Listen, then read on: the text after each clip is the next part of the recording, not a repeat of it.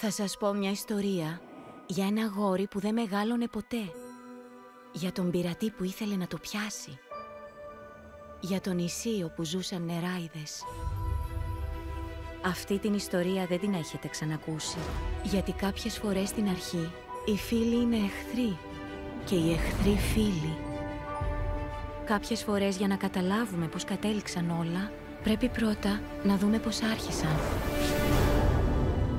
Καλώς ήρθατε στη χώρα του ποτέ!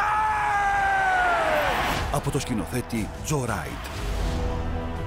Είσαι γενναίος, Πίτερ. Προσπαθώ να είμαι. Υπάρχει μια προφητεία από όταν οι νεράιδες βασίλευαν σε αυτό το νησί. Η προφητεία λέει για ένα αγόρι που θα προκαλέσει εξέγερση εναντίον μου. Ένα αγόρι που θα πετάει.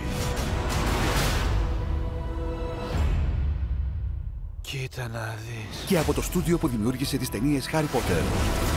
Σβέντα, πρέπει να μας πάρεις από το νησί. Αν το αγόρι βρει τους ηθαγενείς, χαθήκαμε όλοι.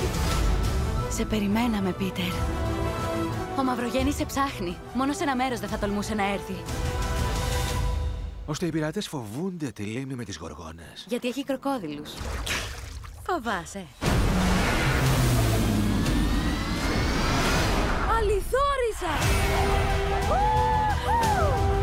Η προφητεία έλεγε πως θα γύριζες και θα ένωνες το λαό μας κατά των πειρατών.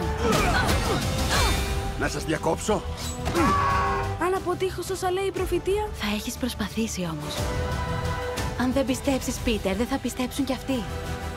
Δεν θα μείνεις για πάντα, παιδί. Ακόμα και στη χώρα του ποτέ. Αλλάξει πλητούρια! Γονάτισε. δεν υποτάσσομαι σε σένα. Ξέρεις από πλοία! Σιγά το δύσκολο! Τελικά δεν είναι και εύκολο! Προς όλο τα χώς! Παν. Σύντομα στους κινηματογράφους και σε 3D από την Tangweer.